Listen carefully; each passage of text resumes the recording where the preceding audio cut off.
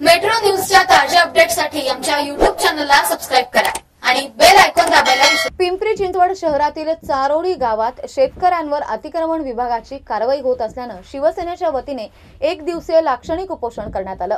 या उपोषणाला माजी खासदार शिवाजीराव आढळराव पाटील राष्ट्रवादीचे माजी आमदार विलास लांडे धनंजय आल्हाट इरफान सय्यद आणि असंख्य कार्यकर्त्यांनी शेतकऱ्यांनी पाठिंबा दिला.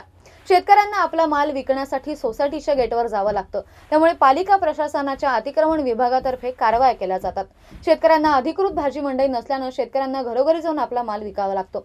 अशातच त्यांच्यावर कारवाया करणं हे चुकीचं असून या कारवाया कुणाच्या सांगण्यावरून होत असतात असा आरोप युवा सेनेच्या उपजिल्हाधिकारी कुणाल तापकीर यांनी केले. सोबतच प्रशासनाला चेतावणी देत या कारवायांचा निषेध देखील व्यक्त केलाय. Bureau report Pune.